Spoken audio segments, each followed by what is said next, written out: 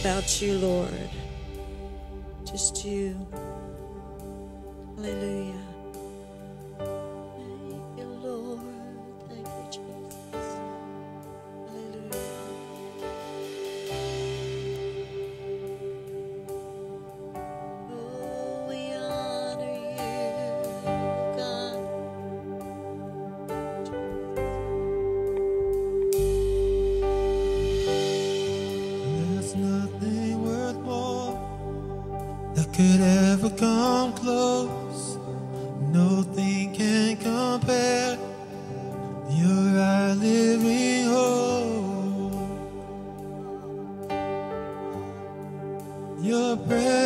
Jesus.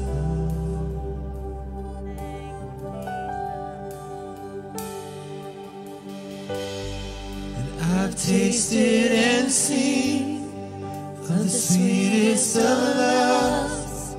When my heart becomes free And my shame is up.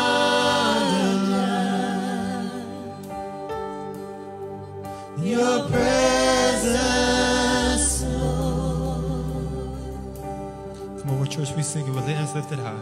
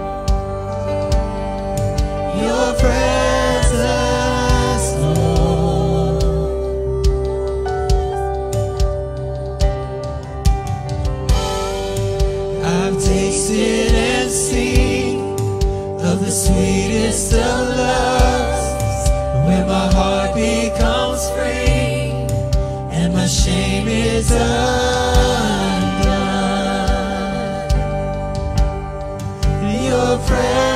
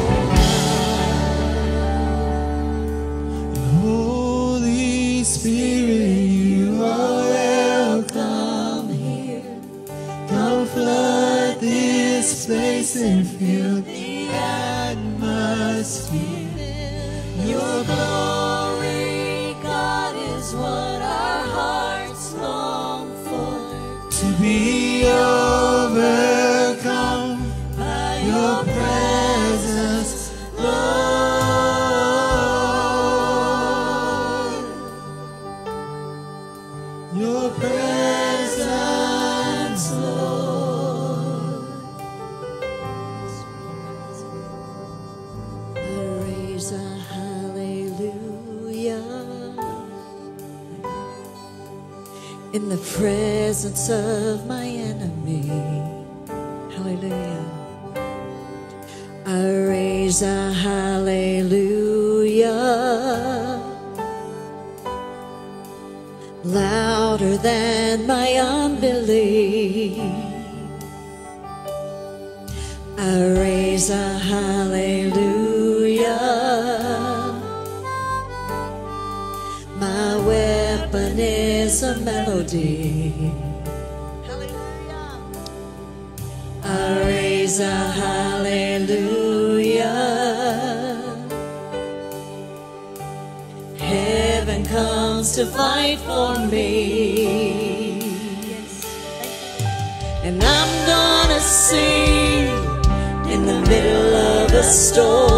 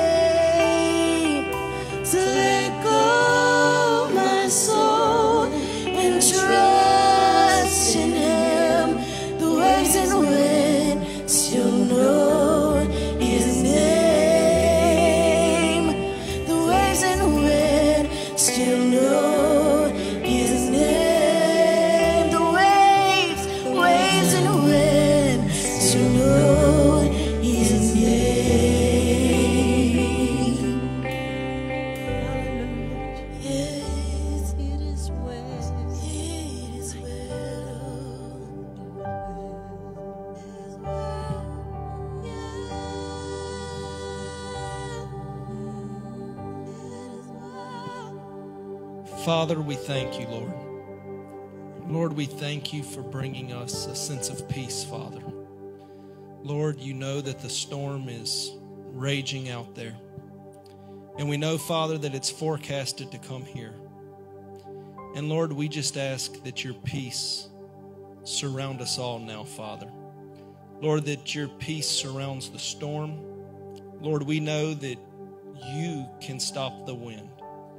And Lord, we know that you can stop the waves. But also, Lord, I know that you can stop the wind and the waves that are in our hearts now. Lord, that you can calm the fear and anxiety that we're all feeling. Lord, that you can protect us and keep us safe, Father. Lord, Scripture said that you surround us with favor as a shield. Lord, you go before us and behind us. And so, Father, we ask you now just to move, Lord. And we trust in you, Father.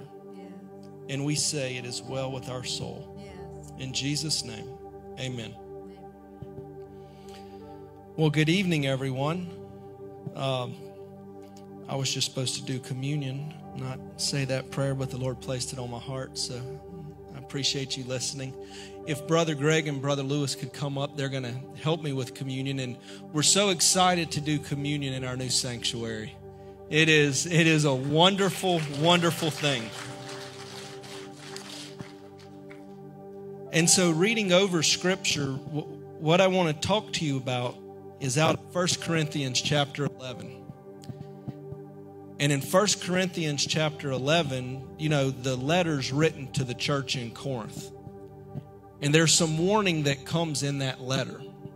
And so, before you come up and take the elements, I just want to share the warning with you.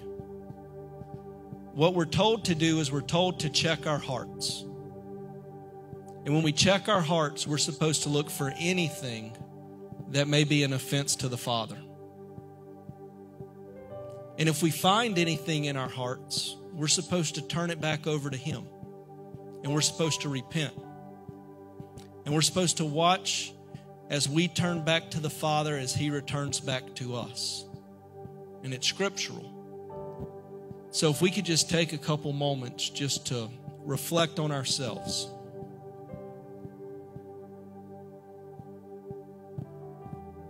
Father, I ask you to examine our hearts, Lord, and send your Holy Spirit, Father, to convict us.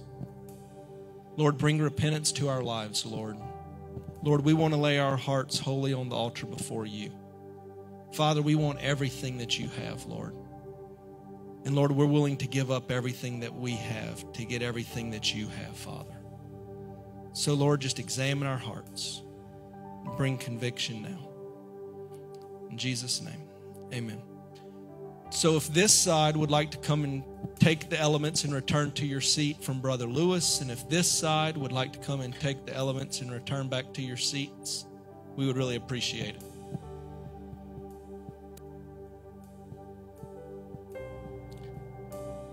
Or we'll just form one line.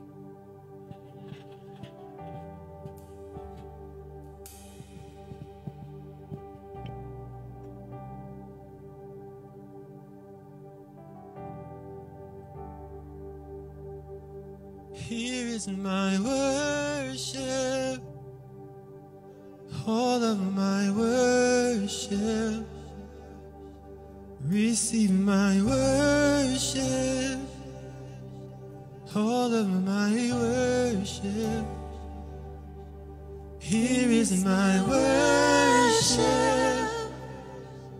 all of my worship. Receive my worship, all of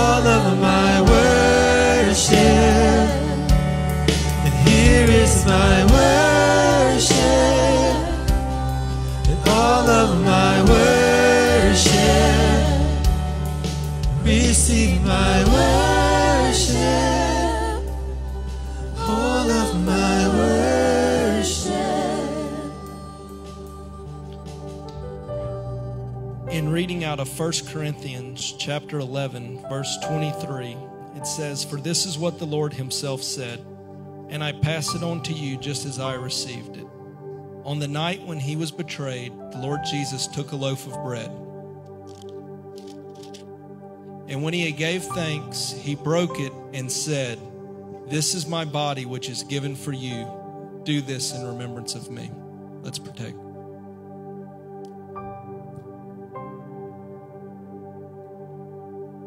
Verse 25, in the same way, he took the cup of wine after supper, saying, The cup is the new covenant between God and you, sealed by the shedding of my blood. Do this in remembrance of me as often as you drink it.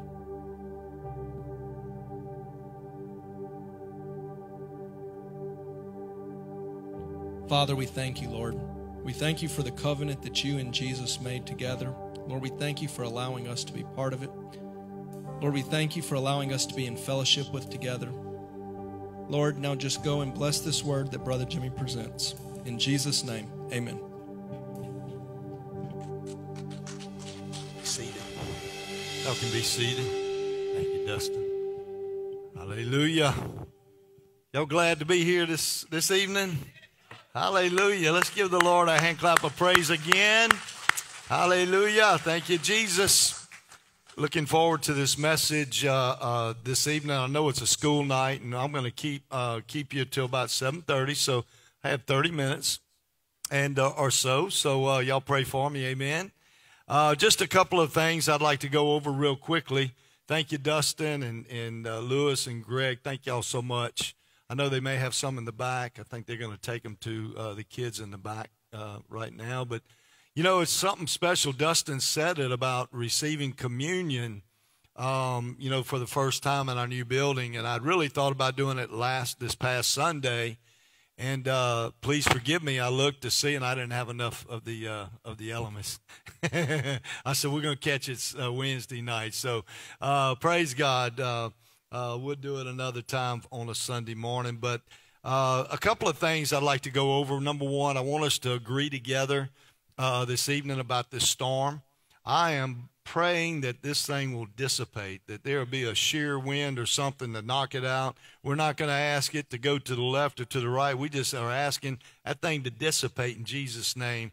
Tell you, uh, uh, I know there's been much uh, with the storms that have taken place. So let's join our faith. Father God, we come to you in Jesus' name once again. We thank you for the authority that you placed in your body, the body of Christ.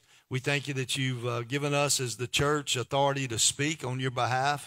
Nine, in the first year of Darius, the son of Ahasuerus, of the lineage of the Medes, who was made king over the realm of the Chaldeans, verse 2, in the first year of his reign, I, Daniel, understood by the books the number of the years specified by the word of the Lord through Jeremiah the prophet, that he would accomplish, that's God, would accomplish 70 years in the desolation of Jerusalem.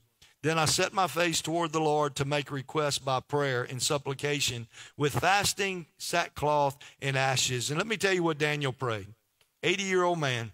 He made intercession uh, uh, for, for the whole nation.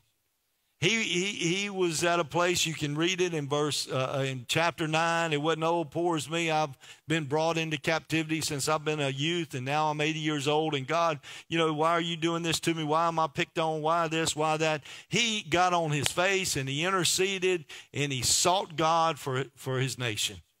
He, he poured out his heart. And the first thing you read in there is confession. He confessed. He said, You're right, God. You got me. You got us as a nation. We have been a sinful people. We have been a rebellious people.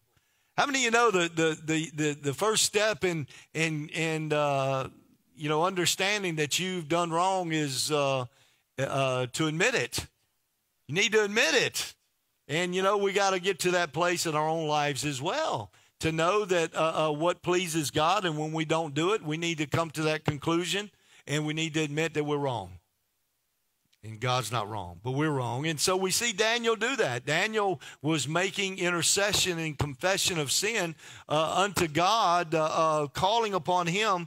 Uh, and if it, anything, it's a, you can read the rest of the chapter and find this is kind of like a model prayer of confession and repentance, uh, and also an appeal to God for forgiveness and restoration. We see restoration all over the Bible, amen. And Daniel is on his knees. He's seeking God. He's praying, uh, uh, and he's saying, Lord, we know why we're suffering. It's our own fault. Think about your life and the things that you may go through or endure. Some of it is self inflicted. Matter of fact, a lot of, most of it, you know, a lot of it is self inflicted. Come on, isn't that right? Am I the only one that likes uh, uh, um, uh, lemon filled town donuts? I tell you, through, through, this, uh, through this construction phase, we have been eating well. We have been eating well. We've had donuts. Matter of fact, yesterday was it Monday? They working on the roof, and uh, and uh, Robert has got a couple of guys with him, and I'm the only one here now, right? Not many, everybody else is at work doing different things. Well, one of the workers, his name is Tigasson. He pops in with a dozen donuts. He said, Man, I brought y'all some donuts. I'm the only one here, you know. It's like, oh man, thank you. So I ended up I ended up having to eat three. I didn't want him to feel bad. But anyway, you know what I'm saying, right? We got to be good stewards over this body, right? All the different things, you know, we we harp and, and pound people for smoking and drinking and all that, but you know, us um, us good, good old Christians, man, we wrestle with that food, don't we? So anyway, back to this. This is a, a, model prayer for confession, uh, repentance, you know, and, and an appeal for forgiveness. Now, that's what that is. Go to verse 20. And we're going to spend the rest of these 20 minutes on these verses right here. And, uh, and then I'm going to tie this to the book of Revelation. Now, while I was speaking, praying, and confessing my sin and the sin of my people Israel, and presenting my supplication before the Lord my God for the, for the holy mountain of my God, yes, while I was speaking in prayer, that the man Gabriel, whom I had seen in the vision at the beginning, being caused to fly swiftly, reached me about the time of the evening offering. And he informed me and talked with me and said, O Daniel, I have now come forth to give you skill to understand. At the beginning of your supplication, the command went out, and I have come to tell you, for you are greatly beloved. Therefore, consider the matter and understand the vision. And all right, now verses 24 through 27, we'll, we'll read those and I'll expound on it. 70 weeks are determined for your people and for your holy city to finish the transgression to make an end of sins, to make reconciliation for iniquity, to bring in everlasting, hmm, in everlasting righteousness, hmm, to seal up vision and prophecy, and to anoint, hmm, the Most High. Know therefore and understand that from the beginning, going forth of the command to restore and build Jerusalem until Messiah the Prince, there shall be seven weeks and sixty-two weeks. The street shall be built again in the wall, even in troublesome times. And after the 62 weeks, Messiah shall be cut off, but not for himself. And the people of the prince who is to come shall destroy the city and the sanctuary. The end of it shall be with a flood. Until the end of the war, desolation are determined. Verse 27 Then he shall confirm a covenant with many for one week. But in the middle of the week he shall bring an end to the sacrifice and offering. Hmm. Sound like some tribulation time going on right there. We'll get to that. And on the wing of abomination shall be one who makes desolate. Sounds similar to Matthew 24, abomination of desolation, spoken of the prophet Joel. But anyway, even until the consummation, which is determined, is poured out on the desolate. That ends chapter 9.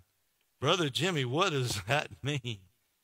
Let me just try to sum this up as best as I can in the 15 or 20 minutes that I have. Gabriel is explaining to, to Daniel uh, Jeremiah's prophecy of the 70 years that Israel was to go into captivity. 70 years. And that's exactly in the natural what happened. They were in captivity for those 70 years. But Gabriel, not only is he explaining that, he goes far beyond Jeremiah's literal 70 years. Yes, it applies to that time because during that time, Jerusalem was desolate. The temple was torn down, it was in ruins. And in verse 25, if we read it again, it tells, he, he tells of, a, of a, um, uh, a promise of restoration, but also a Messiah. Now we know that Messiah didn't come until Jesus is Messiah, right? He didn't come for another uh, uh, several hundred years. So, so Gabriel is actually not only talking about the 70, but he's also looking past that. And if I can say it this way, even looking past all the way into the book of Revelation. And I hope to tie it in with these three right here. So as we look at it in verse 25, Jerusalem, it talks about uh, uh, Jerusalem and the temple will be rebuilt. That happened around uh, 400 445 or 441 BC. That actually happened. And then the anointed one will come. Who's the anointed one? Jesus. And so now that's way past the 70 years. And then, of course, it goes on and talks about how Jerusalem would be torn up again. And that happened in 70 AD. That was when it was, it was burnt. So when Gabriel, this, this uh, uh, explanation goes far beyond, let me just give it to you maybe I'm going to try to break it down for you in three areas. Number one, it deals with the 69 weeks completed, being completed at the cross of Calvary. You say, well, 69 weeks. If, if you look at this and, and, and you study it out, these 69 weeks are actually, it, it, when it says uh, 70 weeks, it's actually the uh, seven sevens, or it's talking about years is all the theologians are in agreement with that, pretty much all of them. That we're talking not about weeks, but we're talking about years. And so when you when you calculate those things out, you find out that this lays right exactly when Jesus comes. So the 69 years or the 69 weeks of Daniel that he's talking about, I just read to you, culminated at the cross of Calvary. And there's one more week left. I'll read it to you again in verse 25. Well, verse 24 70 weeks are determined for your people and for your holy city to finish the transgression, to make an end of sins, to, to make reconciliation for iniquity, to bring an everlasting righteousness. And that ought to give us a hint right there. He's talking about everlasting righteousness. Who's going to bring that but Jesus, right? Okay, so now not only is he talking to him about uh, uh, Daniel about fulfilling the, the 70 years, but also about what's to come for you and I. To seal up vision and prophecy and to anoint the most holy. That's Jesus. Verse 25. Know therefore and understand that from the going forth of the command to restore and build Israel, and that happened around 445 BC, to restore and build uh, uh, Jerusalem, that is. Um, Nehemiah did that, right? Until Messiah the Prince, there shall be seven weeks and 62 weeks. That time frame is what happened from the building of what Nehemiah did all the way until Jesus came and died on the cross. He goes on and talks about in verse 26 and after the 62 weeks, Messiah shall be cut off. How was Messiah cut off? The cross, right? So, can you see? It says Daniel is looking through a porthole of time. Yes, it, it actually applies to the 70 years that Jeremiah said they would be in, in captivity, but, but Gabriel is giving, giving Daniel in a porthole of time of what's happening even today and what's going to come to pass. And so, as we read in verse 26, Messiah shall be cut off, we understand that to be at the cross. But not for himself. And the people of the prince who is to come shall destroy the city and the sanctuary. That talks about the one that is the anti to Christ, right? In verse 27, then he shall confirm a covenant with many for one week. You know, as we talk about these weeks being years, the one week is actually a seven year period. Right? And so we find this one that's going to make a covenant halfway through the week. I don't know about you, but that sure sounds like a seven year tribulation period to me, which we'll get into Revelation. It says, But in the middle of the week he shall bring an end to the sacrifice and offering, and on the wing of abomination shall be one who makes desolate even until the consummation which is determined is poured out. So I look at this prophecy, yes, being fulfilled that they were going to be in there for 70 years, but it also this this this 70 uh, um, this the 70th week of Daniel is really, I believe, deals with the book of Revelation. Because the, the, the 69 weeks from when they started rebuilding Jerusalem until the Messiah was cut off was 69 weeks or 69 times 7. That's your that's your math right there. And so what Daniel is talking about in the 70th week of Daniel is really about the book of Revelation. Turn with me to Revelation chapter 1. This okay?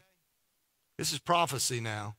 You know, if you it, to understand eschatology, which is a fancy word to say the end times, uh, to study and understand eschatology, we've got to grab hold to Daniel chapter 9, especially verses 24 through 27, and understand yes, it was for the people of that day, the 70 years they would eventually, Nehemiah would go back and rebuild, but it also was a, a porthole of time. It's looking through a porthole of time to see not only that, but it also is talking about the, the, the years until Jesus returns.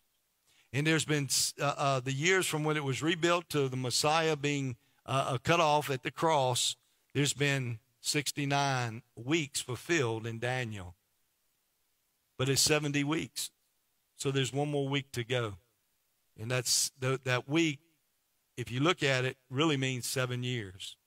How many y'all have ever heard of the uh, seven years of tribulation? Y'all, y'all, y'all understand that? The terminology there? Well, if you go to uh, Revelation chapter 1, I, I just want to, uh, first of all, just start off. Uh, uh, don't raise your hand, but if you're scared of reading the book of Revelation, I hope this helps you. Because there's a whole lot of things in the book of Revelation that people get, whoa, scorpions, uh, uh, demons and a demon army. And First of all, let's look at the title of the book. And the title of the book of Revelation is The Revelation of Jesus Christ.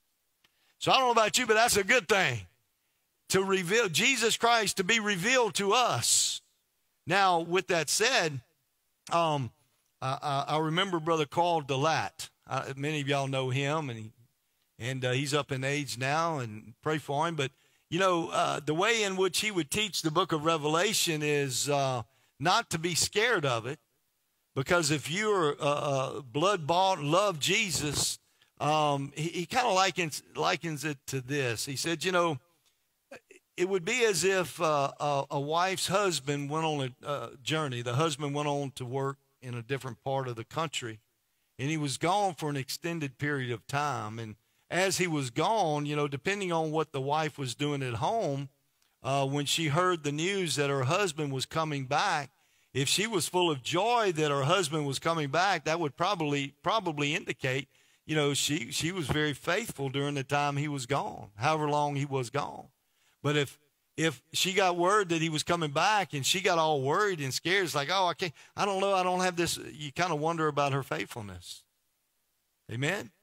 And so when we look at the book of Revelation, it's the revelation of Jesus Christ. And, and if I can, I'm going to break this down to you is in the simple form that I, that I hope we all understand. And I have about 10 minutes left. So I don't know if I've ever taught the book of Revelation in 10 minutes. But I think I can give you an overview of what I'm trying to get across as it, as it ties to Daniel chapter 9 in the 70th week of Daniel. If you're in chapter uh, 1 in, uh, in verse 10, I was in the Spirit on the Lord's day, and I heard behind me a loud voice as of a trumpet saying, I am the Alpha and Omega, the first and the last.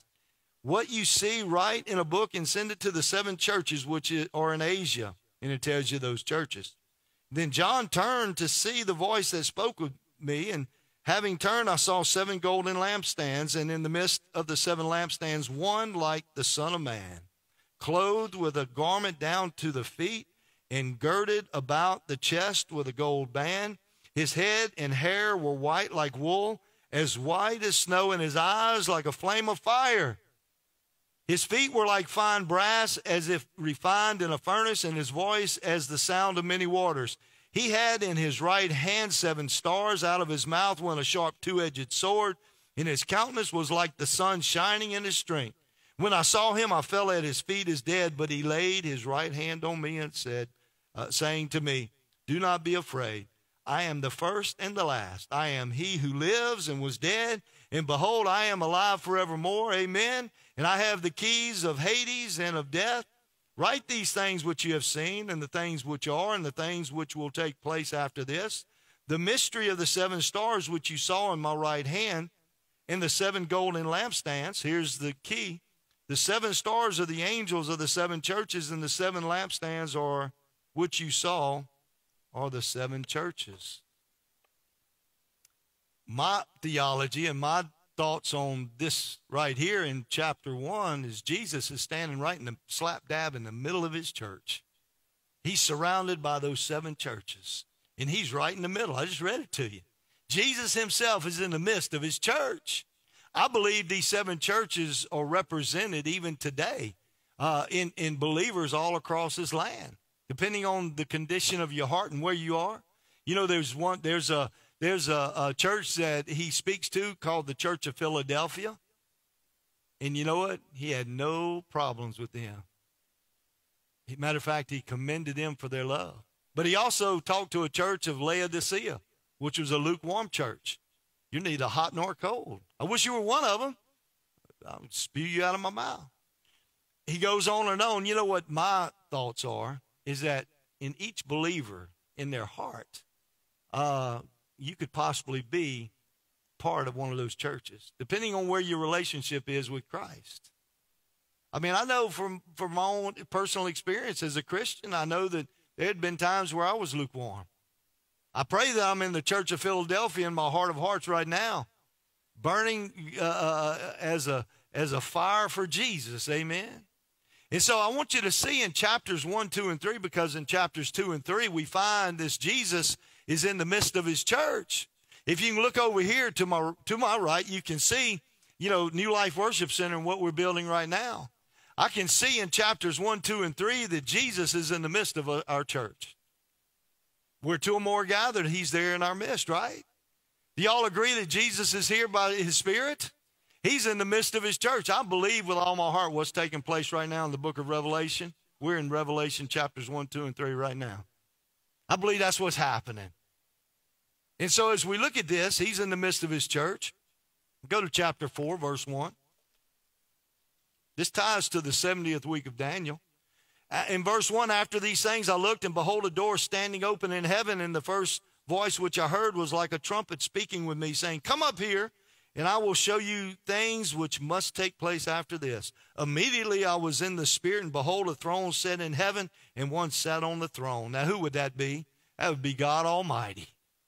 All of a sudden, in chapters 1, 2, and 3, we find that Jesus is in the midst of his church. And I believe that's going on right now. I believe that's happening. But there's something that takes place in chapter 4. Have you ever been to a, a, a, theatrical play to where you have a curtain and they the grand the opening scene they open the curtain and you got the players in it you know they're the the uh, the actors right and then after that scene they close the curtain and you get ready for the second scene chapters 1 2 and 3 the first scene is jesus is in the midst of his church we're living in the dispensation of grace. We're living right now in the church age. And if you if if you can if you can uh, uh, uh, um, work with me a little bit here about this church age in in Romans chapter 11, Paul is talking about how Israel will be brought back in in a relationship with Christ. He says that will happen when the times of the Gentiles is fulfilled. So we're right now can I say it this way? When Messiah was crucified, the 69th week of Daniel was put on it was put on pause. And there's an indeterminate time right now before the 70th week of Daniel kicks in. You know why that is? I believe because Jesus is right here with us in the midst of his church. In chapters 1, 2, and 3, this is how this ties into Daniel. In chapters 1, 2, and 3, Jesus is right here. He's with us. In chapter 4, there's another scene that takes place. And look at chapter 5, look at verse 5. One of the elders said to me, Do not weep. Behold, the lion of the tribe of Judah, the root of David, has prevailed to open the scroll and to loose its seven seals. And I looked, and behold, in the midst of the throne, and of the four living creatures, and in the midst of the elders stood a lamb, as though it had been slain, having seven horns and seven eyes, which are the seven spirits of God sent out all uh, into all the earth. Can you see what's taking place? Where's Jesus right now as I'm reading this? Where is he in, in chapters four and five? He's he's actually in heaven. He's actually on the throne. And so what I've seen is a shift from from right here in chapters one, two, and three that Jesus is in the midst of his church to now I find the lion of the tribe of Judah. He's right there on the throne. And it says there's a multitude that surrounds him singing hallelujah, hallelujah. Why do I bring that up? Because I think what happens is there's been a, a, a shift from chapters 1, 2, and 3. There's been a, a the curtains have closed, and when the curtains re, reappear and open up, I wonder where the church is gone. I wonder what happened to them. I don't know about you, but wherever Jesus is, I want to be. And you know why he's here in the midst of his church? We're right here. But in chapter 4, chapters 4 and 5, he's in heaven. And I want to be right there with him. I personally believe in a pre tribulation rapture. I believe that's what's taking place. I believe what has happened between chapters 3 and chapters 4 is the church has been brought to that place. Now, to understand the rapture, I'm not talking about flying away past Mars or to another to another solar system. I'm talking about, if you think about it, and, and I don't have time to go into all of it, but when Jesus, after his resurrection, he appeared to his disciples in a closed room. Thomas wasn't there, but he appeared to them, and they were amazed. He was there. And then he left, and Thomas shows up. And they said, You missed it. Jesus was here. He said, I got to see his hands. I got to see And Jesus, what happened? Reappeared again. So, when we think about this, and you think about two kingdoms colliding, maybe heaven just ain't that far away. Maybe heaven just is, is ain't that far away. And the spiritual part in the and where we are as the natural part is like this. So when we think about the church being called up, called up, called up and called up, we'll meet him in the air, right? That that place will be will be with him. Does that make sense? And so as we look at this, we find I'm tying chapter 9 of Daniel into Revelation real quick. These these uh, chapters, chapters one, two, and three, I see I see Jesus in the midst of his church, and then and, and then there's a change that takes place, and and I see Jesus in heaven, and I believe we as the church will be right there with him. Well, guess what? We're the body of Christ. You ever gone anywhere without your body? your head just didn't take off. Man, we're attached to our bodies attached to the head. If Jesus is there, that's where we need to be. So as I think about this and, and real quickly, and then to tie in the 70th week of Daniel, Daniel chapter 9, verses 24 through 27, I believe it's all laid out in verses in chapters Revelation chapter 6 through 18. In chapter 6 through 18, if, if my theology is correct, chapters 1, 2, and 3, we're, we're experiencing that right now. In chapters 4 and 5, we're right there with Jesus. And in chapters 6 through 18, we're still right there with Jesus. Because through chapters 6 through 18, all manner of things are happening upon this earth. What you're finding is this sealed document that we looked at and, and just briefly read in Revelation chapter 5. And John wept because no one was able to open up this sealed document. It was sealed with seven seals, and no one was able to open it. No one was holy and righteous enough to open this sealed document. What is the sealed document that he's opening? Maybe it's just this the title deed of the inheritance lost by Adam.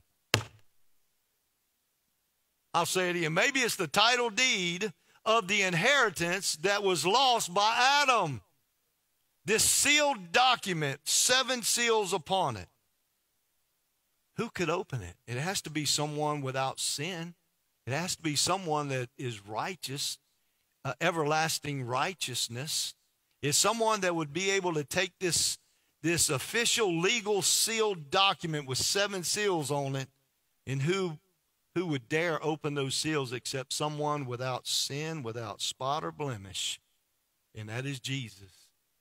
And he starts to he, t- he starts to take the seals off this document, this legal binding document.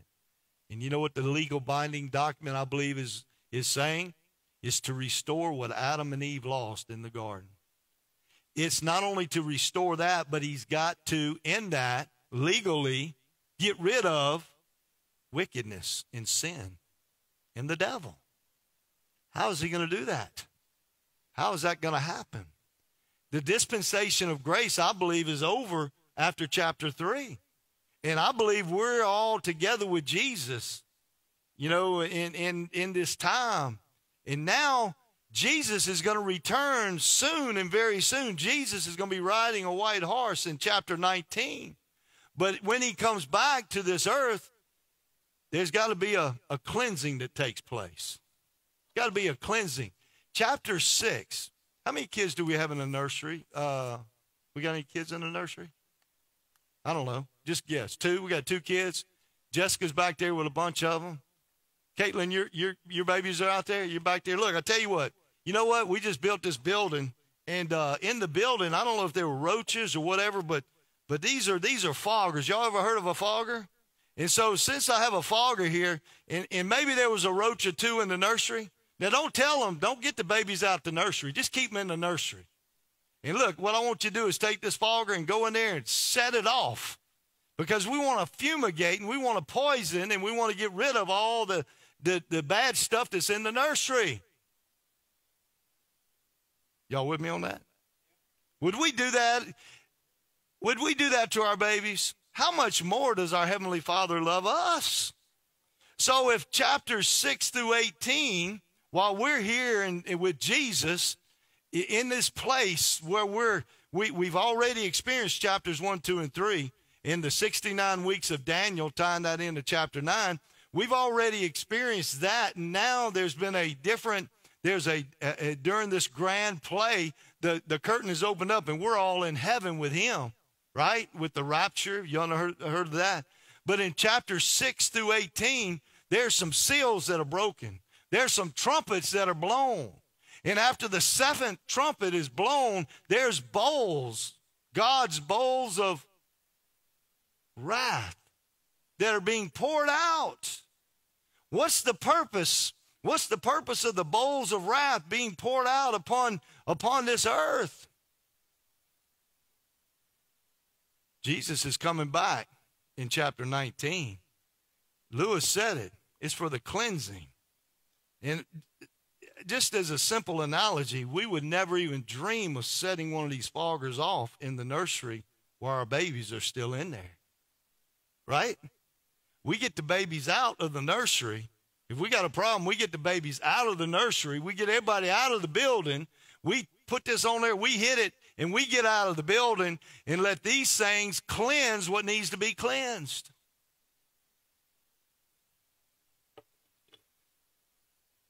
Chapters 1, 2, and 3 of Revelation. Boom. And when, when the dispensation of grace is ended, in the times of the Gentiles out of Romans chapter 11, verse 25 and 26 is fulfilled. What we're going to find, I believe, is the church, we're going to be with him. Wherever he is, that's where we're going to be. And in chapters 4 and 5, we see he's opening up this document, this sealed document. He's the only one that's able to. And what it does is it unleashes a time where there's a cleansing taking place on this earth. We don't want to be here, folks. You don't want to be here when the cleansing's taking place. God does not want any human being to be here when the cleansing takes, takes place. Satan will be here. Demonic entities will be here. There will be an antichrist that stands in the temple uh, three and a half years into this thing. And he will say, I am the one that you need to worship. And I believe what takes place after that, Israel's eyes are open. And when their eyes are open, they realize, oh my goodness, we missed it. It was Jesus all this time. And then great persecution takes place and through those times. But then we find, go to chapter 19, and we'll finish up with this. Warren, you can come on up. This is all about tying this to the 70th week of Daniel. I know we're studying eschatology, the study of end times, which is Daniel 9. And if you look at it, chapter 9, the first part, he prays. He's praying for God to forgive the people. And then we find Gabriel shows up, and Gabriel starts to tell him, hey, yes, you are going to be restored. And yes, you're going to rebuild Jerusalem. And yes, you're going to rebuild the temple. And yes, this is the time it's going to take. And then all of a sudden, through a porthole of time, he's seeing the end of days. He's seeing the uh, end times that we're, I believe, we're living in. And this is how it's tied to Revelation that right now we're in the dispensation of grace. We're in, in the church age and, and grace abounds. But there is coming a time that curtain's going to close, and the church, I believe, is going to be with Jesus in, in Revelation 4 and 5. And when he gets ready to open up those seals, we're going to be right there with him. And when he opens up, up chapter 6 through 18, all kind of manner of stuff breaks loose. The seals are open, the trumpet's blown, and the bowls are poured out. And then in chapter 19, oh, I like this one right here. and in chapter 19 of Revelation, and I'm about finished. And after it says here in uh, uh, verse 1 And after these things I heard a loud voice of a great multitude in heaven saying, Alleluia! Salvation and glory and honor and power belong to the Lord our God. How many y'all want to be in that chorus? How many y'all want to be in that choir? Come on, you see, that's he's still, you know, the curtain. He hadn't, Jesus hadn't come yet. His second coming had not come yet. I believe the church has been brought up to him, but his second coming, we're about to read in verse 11. Look at verse 11. Now I saw heaven opened, and behold, a white horse And he who sat on him was called faithful and true. And in righteousness he judges and makes war. His eyes were like a flame of fire, and on his head were many crowns. He had a name written that no one knew except himself. He was clothed with a robe dipped in blood, and his name is called the Word of God. And the armies in heaven, clothed in white and fine linen, white and clean, followed him on white horses. Are y'all going to be in there? We will ride like the armies of heaven. We will ride. Now out of his mouth goes a sharp sword, that with it he should strike the nations, and he himself will rule them with a rod of iron. He himself treads the winepress of the fierceness and the wrath of Almighty God. And he has on his robe and on his thigh a name written King of Kings and the Lord of Lords. Jesus is returned. Hallelujah. In this right here, he's returned. And if you think you're going to be caught up and you're going to have to wield the sword and fight all this, your fight is right now. This is how we fight our battles right now. Because when Jesus comes riding on that white horse, he's the captain of our salvation and we're riding with him. All he's got to do is say the word. All he's got to do is just think it. And demons have to go. And we're going to be right there with him. We're going to be right there with our Lord and Savior. And we find after he, it says he himself, he himself uh, uh, trounces the wine press. He himself does that. Then what we find is a thousand year reign with Christ. In chapter 20, it says that we'll be right. Stand to your feet. In chapter 20, it says we'll be right here with him in a thousand year reign, the millennial reign of Christ. After that, the devil is taken care of for one final time. And the Bible says a new heaven and new earth descend. I don't know about you, but I want to be a part of that great cloud of witnesses.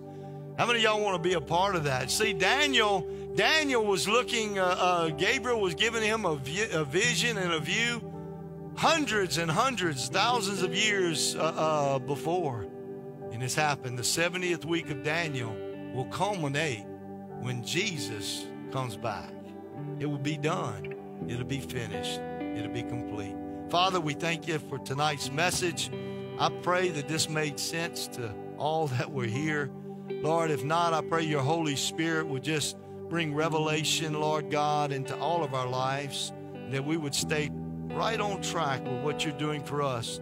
Lord, we read and see about the book of Daniel as one of hope that you you have all things in your hands and under control, and that, Lord, you win. And we thank you that you have chosen us. We're with you. Lord, we thank you for it. We give you the praise. In Jesus' name, amen. Give him my hand clap of praise. Hallelujah. I'm going to dismiss the congregation, but if you're in need of prayer, come on up. We'll be glad to pray for you. God bless you. You're dismissed. In Jesus' name.